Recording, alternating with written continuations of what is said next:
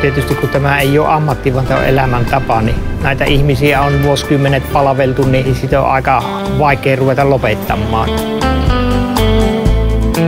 Aamulla lastataan, että kuuelta tullaan töihin ja auto lähtee tuossa yhdeksän kieppeillä taipaleelle ja päivällä sitten tehdään niin kuin kaupan hommia. Joku on kysynytkin, niin minä olen sanonut, että meillä on kaikki tarpeellinen ja vähän tarpeetontakin.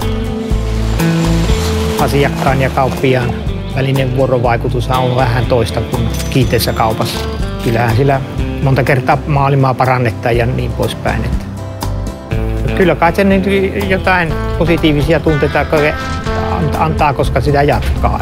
Eihän se, jos se olisi tervajuontia, niin sehän lopettaisi.